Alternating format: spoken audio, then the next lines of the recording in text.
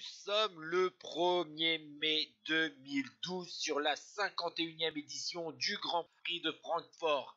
Quatre coureurs ont réussi à fausser compagnie au peloton à 40 km de l'arrivée.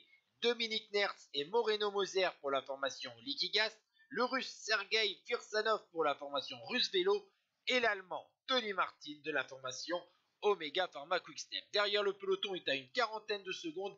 Les quatre hommes vont résister au retour sur le peloton. Nous sommes dans le dernier kilomètre et c'est là que le néo-pro italien de 21 ans, Moreno Moser, va réussir à fausser compagnie à ses compagnons de fugue, puisque Ners a fait un gros travail dans les derniers kilomètres pour avantager le coureur transalpin qui va donc s'imposer en solitaire et signer sa deuxième victoire professionnelle pour sa première année chez les pros après le Trofeo Leguiglia. À 6 secondes derrière, Nertz règle le groupe de chasse devant Firsanov et Martin, tandis que Greppel, devant Christophe et Degenkolb, règle le peloton avec 4 secondes. Ciao tout le monde